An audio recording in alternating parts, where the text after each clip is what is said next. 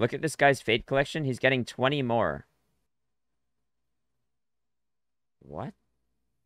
29 minimal wear specialist glove fades. Now, I've seen some questionable investments in my day. Okay, I'm guessing that he's assuming in CS2 these will look better.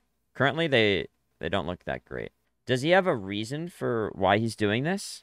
Okay, Zeusper says to check the patterns, so 575. Another one? Let's see. Okay, that's kind of Middington. What about these? Uh, no, they kind of seem random. Yeah, he must just be really banking on CS2 going hard. Really, really weird.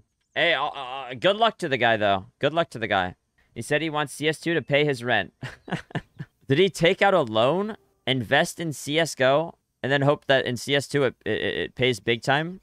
Uh, hey, I really hope that uh they look good in CS2 then.